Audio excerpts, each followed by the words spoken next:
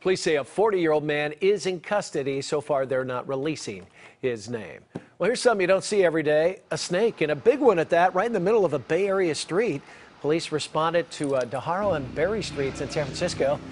That's what they found a snake slithering around. Officers called in animal control and kept close watch on it until they finally caught up with it. Police believe the snake may have made its way Yeah. from a nearby homeless